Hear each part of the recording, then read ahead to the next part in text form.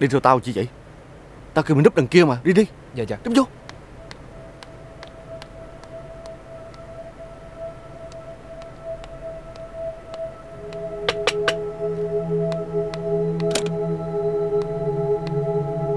Chào đồng chí. Anh em đâu hết rồi sao có mình em vậy? Báo cáo đồng chí phó đội trưởng Anh em đang nghỉ trưa. Ờ vậy hả? Tội nghiệp không? Thôi đi ăn cơm với anh. Đi. Cái gì mà ngại không biết nữa. Đi đi ăn cơm với anh. Em đang trực Để bữa khác em sẽ mời đồng chí phó đội trưởng đi ăn sao à, Vậy hả? Ờ Thôi vậy cũng được. Rồi nè Có cái quán nào ngon ngon ở đây Mày chỉ cho anh coi. Đồng chí chạy ờ, xuống đây khoảng 500 mét. Có cái quán giường bàn Chỗ đó nấu ăn ngon lắm. Ờ vậy hả? Ờ Thôi sẵn đi với anh luôn đi Anh mời mà. Dạ không được. Đang giờ trực của em. À vậy Bỏ đi như vậy không được đâu anh. Theo nguyên tắc. À nè Anh nhớ hình như là Vợ em có bầu mà Xanh chưa? Dạ xanh rồi anh. Xanh rồi. Chà Trai gái vậy. Dạ trai Chà ngon lành nha Giống em hay giống mẹ nó vậy? Dạ báo cáo đồng chí Giống mẹ hơn. À, Vậy thôi, thôi chúc mừng nha. Mẹ chồng con vuông là tốt.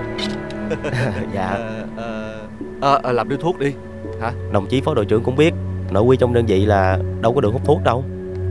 Bởi vì đây là phòng kho lưu trữ giấy tờ, nên là thông kho- cảm. Kho là không được hút thuốc. À đây nhớ nha. Đầy tháng con em là phải nhớ mời anh đó Dạ. Anh sẽ có món quà đặc biệt cho con của Dạ. em. Tiền của mày đây Mặt ông có vẻ vui vẻ hơn cái lần đưa tiền trước cho tôi đó nha. Bởi vì mày làm tốt công việc cho tao mà. Làm ăn với tôi thì ờ, không ai lỗ lã hết. À Chừng nào thì anh em của ông mới tăng tiền tháng cho tôi đây? Mày nói cái gì tao nghe không rõ. Tôi nói là chừng nào anh em của ông mới tăng tiền tháng cho tôi Tại sao tao phải tăng tiền cho mày chứ?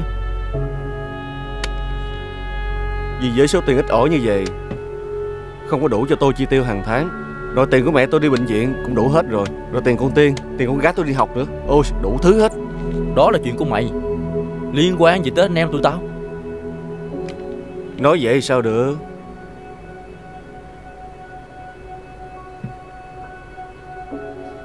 Nè Về việc mày chi tiêu Nhiều như vậy á Thì lương thưởng của mày có được tăng lên không? Không. Nhưng nguồn tin của tôi có lợi cho ông. Mà đặc biệt càng ngày các ông càng kiếm được nhiều tiền. Ê Mày nên nhớ là anh em tụi tao kiếm được nhiều tiền. Không hẳn là do nguồn tin của mày không đâu nha. Nhưng mà có tôi Thì tụi ông mới kiếm được tiền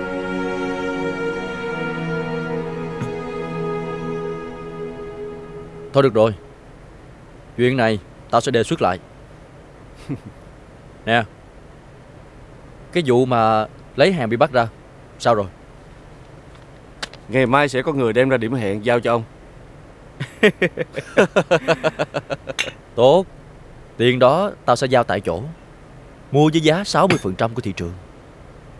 Ok tôi biết. Cái này là kiếm thêm thôi. Không có tính trong cái phần giao dịch làm ăn trước nha Vô.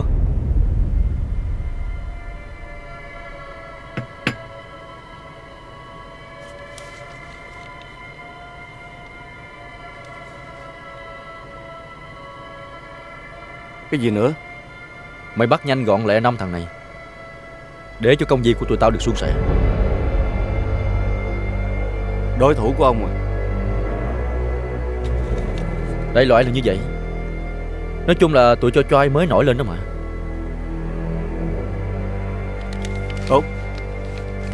Nếu như mà vì việc này Tôi được tiền thưởng Thì tôi sẽ khao cho ông một chầu. Cuối cùng thì thằng Trương Long này Cũng được uống bia miễn phí của Cao Tùng rồi sao? Ông nói quá đáng. Coi như bữa nay tôi đãi cái chầu câu cá này nha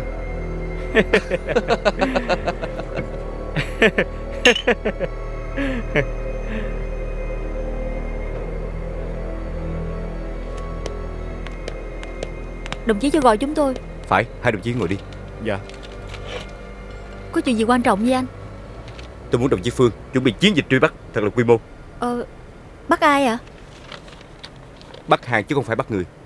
Theo nguồn tin mật báo Bọn buôn ma túy đưa một lượng hàng lớn vào thành phố này Trước khi vận chuyển ra cảng để tuồn ra nước ngoài Nguồn tin lần này có chính xác không anh? Chính xác.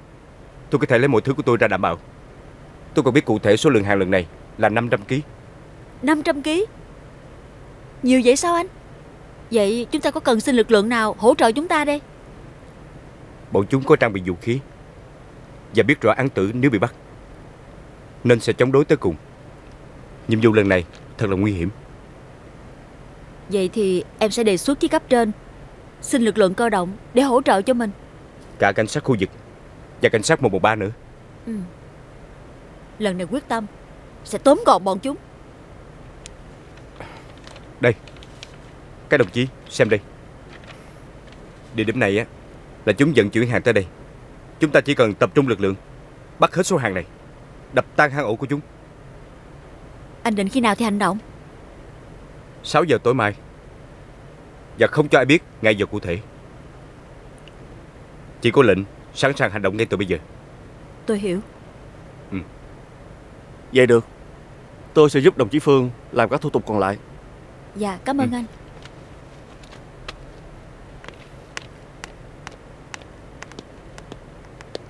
Chuẩn bị mọi thứ. Tôi đang xuất kích. Ủa anh nói đêm mai mà. Đêm nay. Phải cực kỳ cảnh giác cầu tùng Rõ, thưa sếp.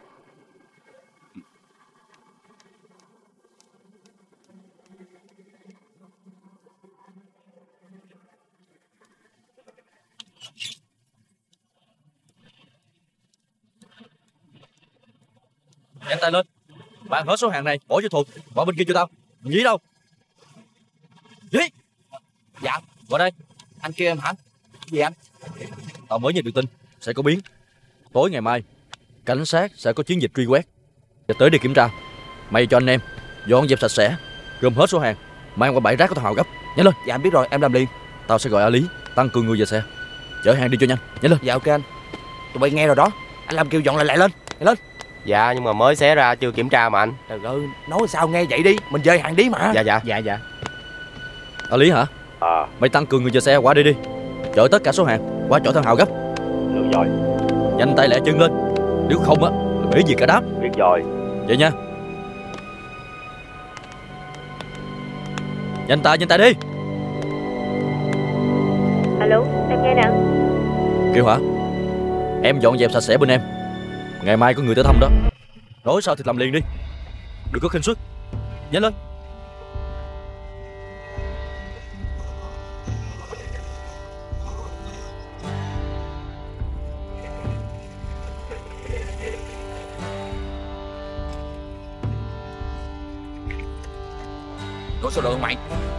Còn phòng của công an ở trong á. Công tin thì mở ra coi. Tiền đâu? Cái gì? 60% giá thị trường mà có nhiêu đây hả? Tiền đâu đó mày.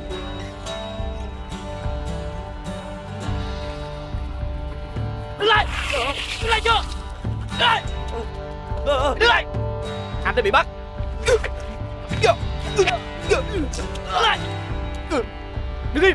Anh đã bị bắt. Đừng chống cự nữa. Anh không thoát tội đâu. Sẽ thêm tội chống người thi hành công vụ. Các anh là em mới được chứ? Chúng tôi đã theo dõi anh từ hôm qua rồi. Gì chứ? Tôi chỉ làm theo Chỉ đạo thôi. Chuyện đó thì anh có thể viết vào bản tường trình Các anh bắt làm người rồi. Tôi chỉ làm theo chỉ đạo của phó phòng Cao Tùng thôi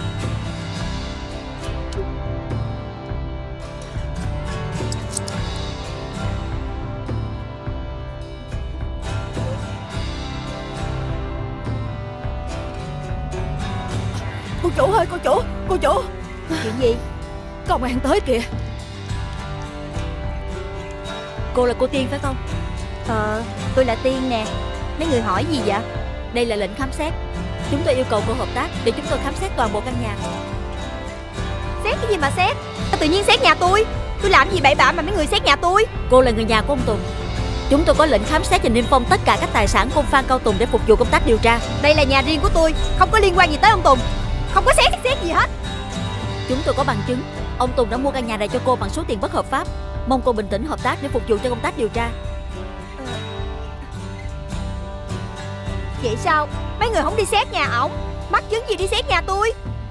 Tất cả những người liên quan đến ông Tùng đều bị khám xét Kể cả nhà dì của ông Tùng.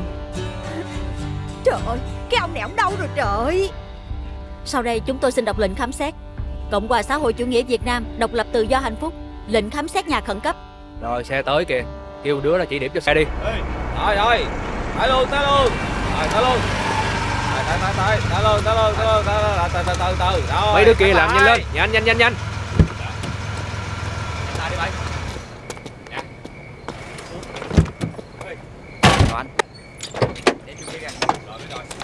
Rồi lấy hàng đi lên. Nào à? À thằng này á với lại thằng này á là hai thằng khứa đứng của ông Kiệt á. Dạ. Ngon không? Giờ là tay đắc lực của ông Lâm. Dạ chào anh Tự nha Cẩn thận Đẻ tay lên. Kiệt đừng biết nhìn người á Cẩn thận nha. Ê Nhí Hôm nay mày khỏe rồi ha Khỏe khỉ khô chứ khỏe. Bây giờ phải dỡ hàng ra làm tiếp nè. Sao không đợi qua bên kia làm luôn Thôi đi mẹ. Bây giờ ráng tranh thủ làm càng sớm càng tốt. Qua bên kia xà quần xà quần. Tôi không muốn lậu xin. Cho tao một hộp quẹt Trời ơi. Mày mày mày muốn chết hả mày? Cẩn thận chứ mày. Có chút chuyện làm cũng xong nữa. Chút chuyện làm cũng xong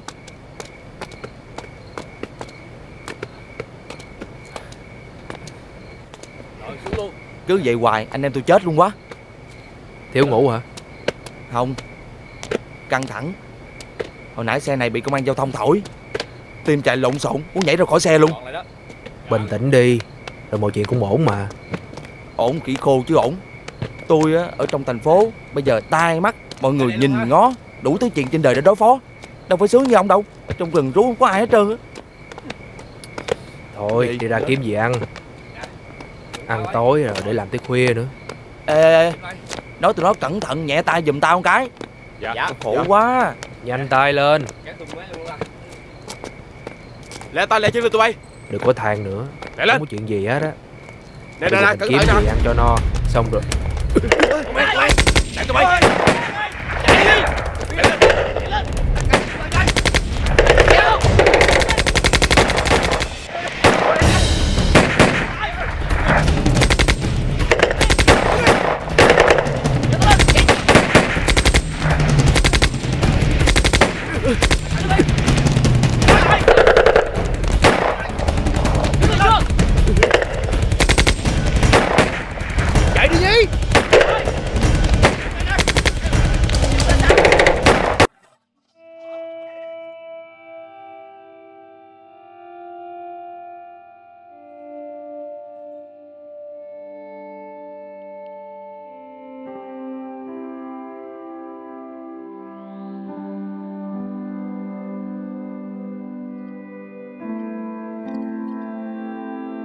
Xuống đi. Cảm ơn.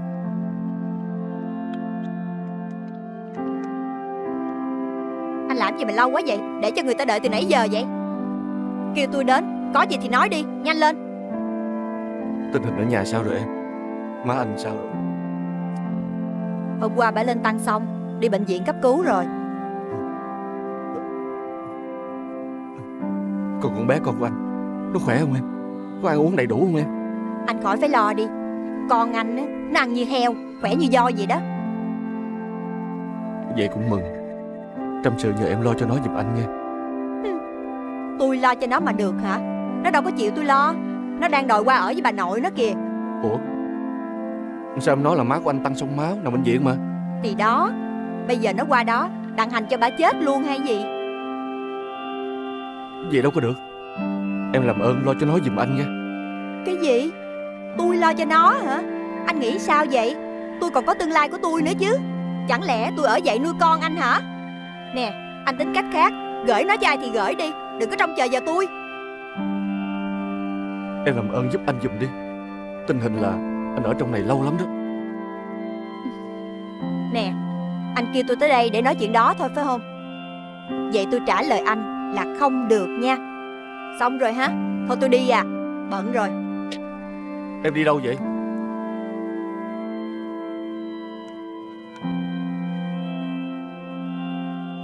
Tôi phải kiếm cách Cao chạy xa bay khỏi chỗ này.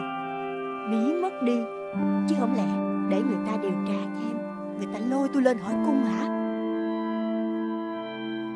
Theo em biết là trong lúc đang điều tra mà em bỏ đi như vậy Họ sẽ truy nã em đó. Trời, thì kể đi Chừng nào phát lệnh truy nã hắn tính. Còn bây giờ thì tôi phải lặng à. Anh tự lo cho bản thân anh, Lo cho mẹ anh và con anh đi.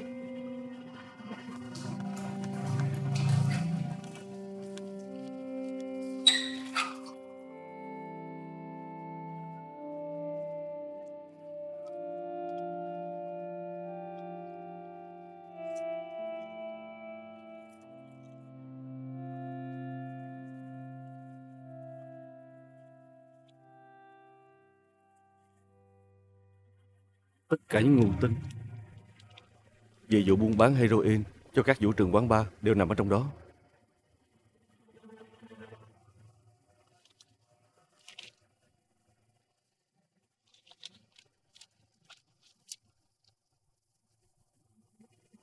Vậy bây giờ anh tính sao? Anh cũng không biết nữa. Hay là Em cứu con anh giùm nha. Đừng để nó bơ vơ. Anh xin em mà, Làm ơn đi. Làm ơn cứu giùm con anh đi mà. Anh xin em Cứu giùm con anh đi mà. Thôi được rồi. Em sẽ mang bé về nhà chăm sóc. Nhưng mà anh phải viết giấy ủy quyền Để cho em có quyền chăm sóc bé. Còn về phía mẹ của anh Thì đã có bên công đoàn chăm sóc bác rất là chu đáo. Bệnh tình của bác cũng đã khá hơn. Nên anh đừng có lo lắng quá. Anh cảm ơn em. Không. Em chỉ giúp anh được tạm thời. Còn về lâu dài Em nghĩ là anh nên liên hệ với bà con Để chăm sóc bé cho tới khi bé trưởng thành. Gia đình của anh đơn chiếc lắm. Mẹ của anh chỉ còn bà chị đơn thân. Mà tuổi thì cũng gần đất xa trời rồi. Nếu anh đã biết kết cục như vậy Thì tại sao anh còn lao đầu vào? Bây giờ anh đã trở thành một người đàn ông Thiếu trách nhiệm với gia đình Thiếu trách nhiệm với người thân, anh biết không?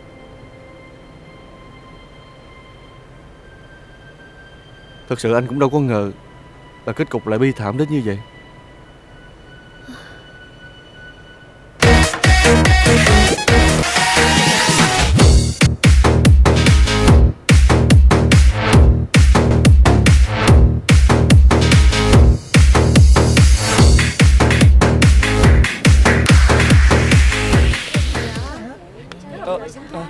Là cái gì đây? Ờ, ờ, Tôi đâu có biết đâu anh. Ở quán mà tôi đâu có biết đâu. Tôi đến đây vui chơi lành mạnh mà. Mời mọi người đứng lên.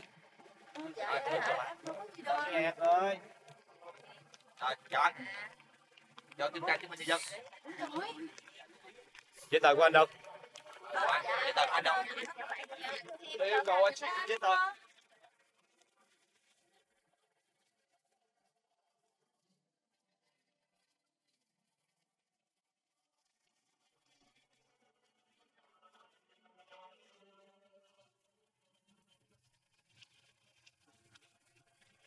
Chị ơi cho gọi nhờ điện thoại ờ, cái đi.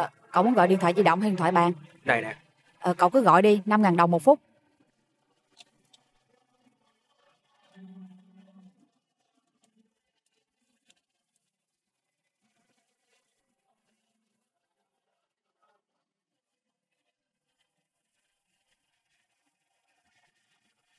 Alo. Tao Minh nè. Mày nghe đó Mày có sao không? Không sao vẫn sống tốt. Mày đang đâu vậy Ra cây xăng ngã sáu đón tao đi. Được rồi chờ tao. Ừ. Ra nha.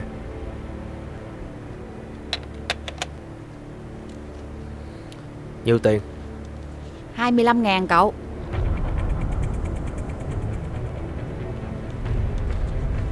Rồi thôi. Rồi cảm ơn cậu. Có thể nói đây là đợt càng quét mạnh tay nhất từ trước đến nay tại các vũ trường quán bar. Lực lượng công an đã tóm gọn các đối tượng có tiền án tiền sự đang hoạt động tại các địa điểm này. Đặc biệt trong đợt càng quét này, lực lượng công an đã tóm gọn một cơ sở chuyên vận chuyển và tàn trữ ma túy với khối lượng lên đến 500 kg heroin.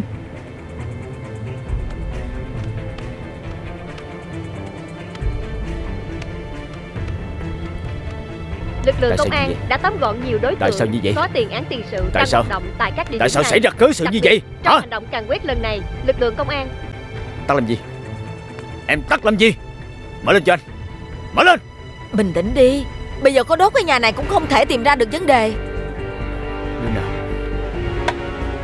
Đứa nào? Đứa nào? Chắc chắn là trong nội bộ này Có đứa bắn tin ra ngoài. Là đứa nào? Nó có khả năng là đứa nào? Có thể làm ra chuyện này. Chuyện này khó nói lắm. Phải ra soát lại toàn bộ mới được. Đừng để anh tóm cổ được thằng này nha. Anh mà tóm được nó Chắc chắn. Anh không để cho nó chết toàn thấy đâu. Anh à Anh bình tĩnh đi. Điều cần làm trước tiên á không phải tìm kẻ này. Vậy thì sao? Mà phải sắp xếp việc cho đám đàn em chưa bị bắt kìa.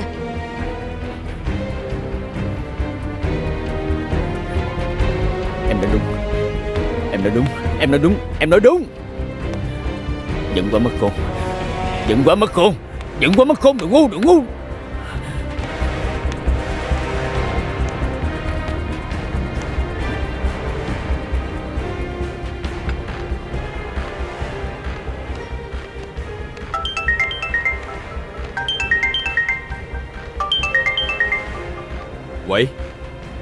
Hải hả? À Hải liền Có chuyện gì vậy? Mày lập tức bắn tin của tao. Đến thằng Lý và thằng Minh Dế Bảo tụi nó Giải tán hết đám đàn em cửu dạng ở biên giới. Nằm dùng yên ắng một thời gian cho tao. Có chuyện gì không? Chuyện dài lắm. Nhưng là chuyện lớn. Sao? Có chuyện gì hả? Đám đàn em thằng Lâm bị bắt hết rồi. Hả? Tại sao vậy? Từ từ tao nói mày nghe Cứ làm theo lệnh của tao đi. Được rồi.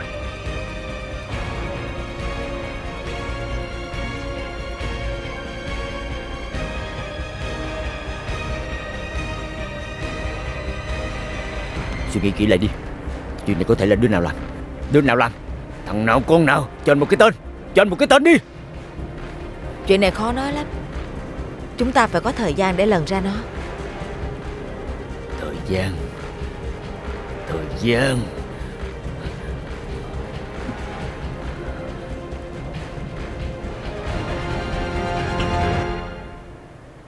Tụi mình giống như đang làm trò hề cho tụi công an vậy.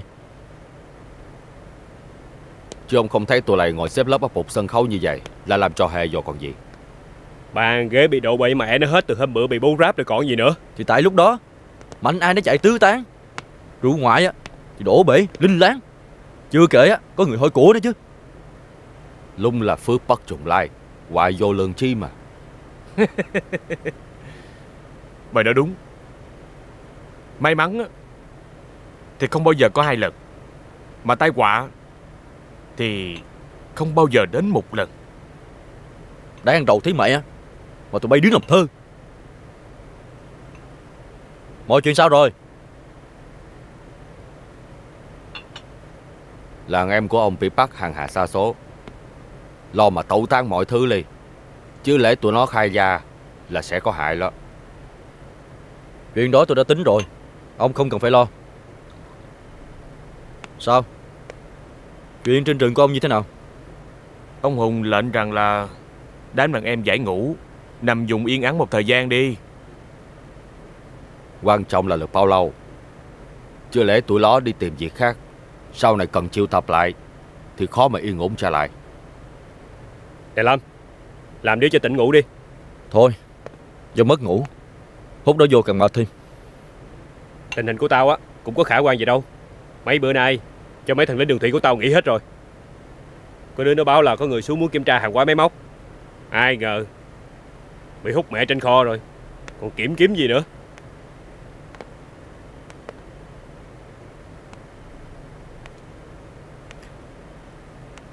Tôi nghĩ là trong nhà của mình Có nội gián.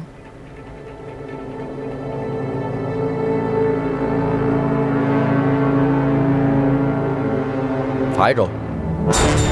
Tao sẽ không để cho ông Hùng nổi giận lên đâu.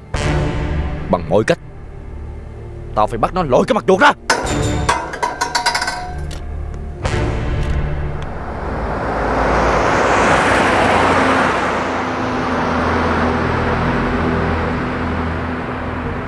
Thể nói đây là đợt càng quét mạnh tay nhất từ trước đến nay tại các vũ trường quán bar. Lực lượng công an đã tóm gọn các đối tượng có tiền án tiền sự đang hoạt động tại các địa điểm này. Đặc biệt trong đợt càn quét này, lực lượng công an đã tóm gọn một cơ sở chuyên vận chuyển và tàn trữ ma túy với khối lượng lên đến 500 kg heroin.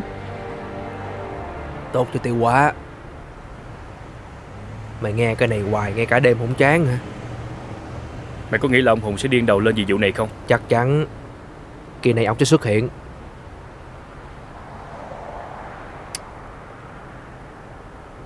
Bây giờ làm sao đây? Đưa tôi về gặp ông Lâm trước. Mày nói cũng phải. Tính hay đó. Mày lấy xe bà Hồng đi cả đêm và bà không nói gì hả? Tao cũng chưa biết nữa Bởi vì đây là lần đầu tiên tao làm như vậy. Cẩn thận nha. Ông Tài á Ông đa nghi Mà ông Mát không thua gì ông Hùng đâu. Tao hỏi nè Làm sao mày thoát được khỏi trận càn quét vậy May mắn thôi. Lý do không thuyết phục. Mày nói như vậy Đàn em của ổng á Ngay cả tao nữa Cũng nghĩ mày là nội gián đó. Tao biết chứ. Thì dứt khoát lần này tụi nó sẽ tìm cho ra thằng nội gián. Nhưng mà thằng đó không phải tao. Mày nói như vậy không thuyết phục mấy ổng đâu. Kiểu gì mấy ổng cũng tìm cho ra. Chứ bây giờ sao? May mắn thì nó là may mắn thôi. Hên xui Mấy ông đó mà hỏi tới á, Là mày chết chắc Không lo nghĩ thêm vài lý do nữa đi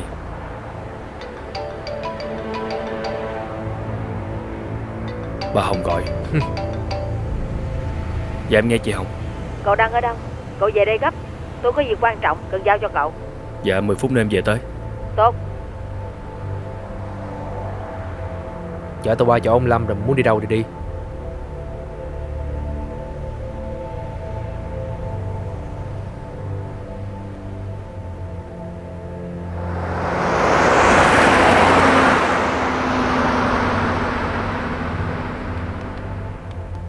Anh đừng có lo mà. Nếu thông tin của A Hải chính xác Thì việc tìm ra tên nội gián Chỉ trong vòng một vài ngày thôi. Anh đâu có lo chuyện đó. Anh đang tính là phải xử thằng đó thế nào Khi mình nắm đầu được nó. Sao chứ? Chưa bắt được người Mà đã nghĩ cách trừng trị rồi.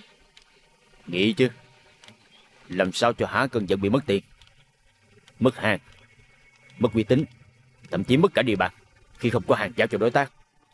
Chuyện đó từ từ tính đi Anh đừng nóng quá mà. Bây giờ mình phải chuẩn bị mặt mũi thật tao nhã Để đi gặp quan chức làm ăn nữa chứ. Có ngày này ngày khác đi. Không lẽ gặp bọn nó suốt ngày cứ phải tươi cười? Giữ bộ mặt hiền lành hoài sao? Cái bọn này phải tập làm quen với bộ mặt độc ác của anh là vừa. Thôi cho em xin đi. Anh làm quá Tụi nó sợ chạy mất dép. Không ai quan hệ với anh nữa đâu. Cục cưng của em tới kìa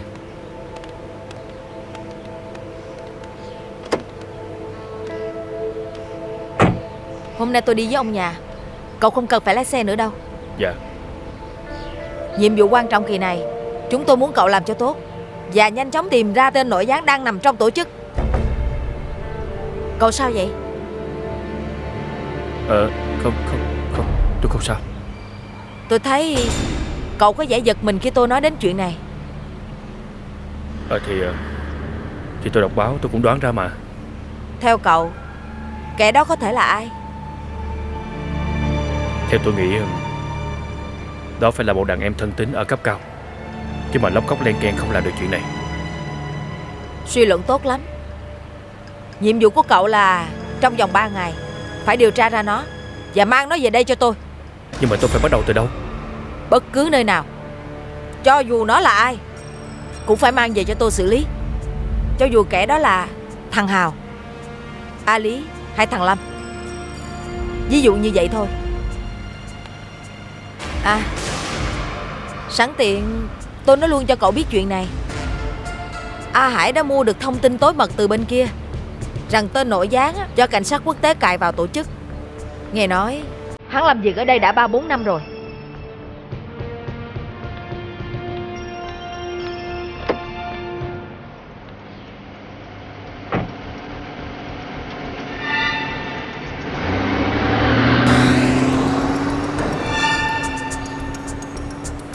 là thằng Minh Dế. À, Nói à, Nói. Nhanh lên. À, à, nói không? Mày nói không?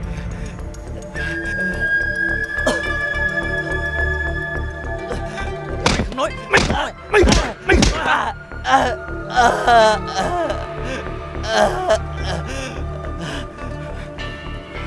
Mày là nội gián của thằng nào? Mày không chịu khai hả? Không chịu khai Không chịu khai Không chịu khai Không chịu khai hả mày? Mày có nói không? Anh ơi em, không biết Em không có. Không có hả? Tao hỏi lần cuối.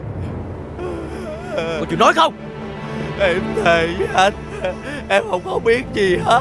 Mày nói chịu nói Mày? Mày tưởng mày nói vậy tao tính mày hả mày? Tính mày hả? Tính mày hả? Tính mày hả mày? Mày Tao hỏi mày lần cuối Bây giờ mày có khai thiệt không? Còn mày sẽ lét vậy. Thì tao lo cho mày thôi. Sao lại lo cho tao? Ờ Không có gì? Thằng nào bị treo vậy Mày là nội gián của thằng nào? Em không có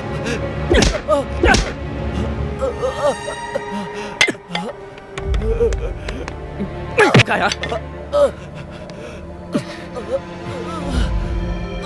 Mày nói lại một lần nữa xem Để coi mọi người nghe có thuyết phục không. Nói. Em em nói thiệt Em không nói xạo anh nữa lời. Em xin thề Anh đừng có đánh em nữa. Vậy thì tại sao? Chỉ có một mình mày chạy thoát hả? Lúc đó có ông Minh nữa Lúc đó em với ông Minh bị bắn Té xuống nước Xong em thoát được. Do may mắn thôi. May mắn cỡ nào? Hả? Tụi nó đá vô em Tụi nó tưởng là em chết rồi Cho nên là tập trung vô mấy đứa đang phản kháng. Vậy thì tại sao hai ngày? Mày mới trở về đây hả? Vậy lúc em tỉnh dậy Em rắn lết ra Chỗ đó càng xa càng tốt Ngày đó có công trình bỏ hoang Em nó lết vô đó. Rồi xỉu lúc nào không biết. Qua ngày hôm sau Còn bao nhiêu sức thì em lết về đây. Chứ em đâu biết gì đâu anh. Phải rồi nó bị thương nặng hơn tôi mà. Im ly Kêu lo lo tiếp. Tại sao công an biết cái kho mà vô bắt hàng nữa chứ? Nói.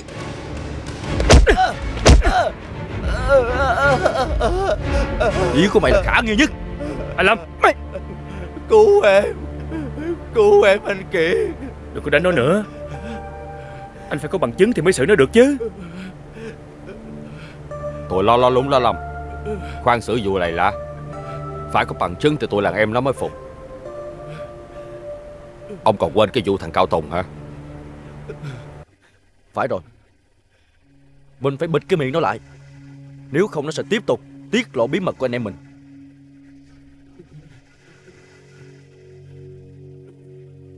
Cái vụ này cứ giao cho thằng Minh với em của tôi làm đi Bắt nó im miệng thôi chứ gì. Dễ mà. Anh Thằng dễ trong chuyện tình nghi à? Không phải chuyện của mày. Thả nó ra. Dạ. Mày chỉ cần biết Mày thoát khỏi dòng nghi vấn. Là vì mày mới gia nhập chỉ hơn một năm thôi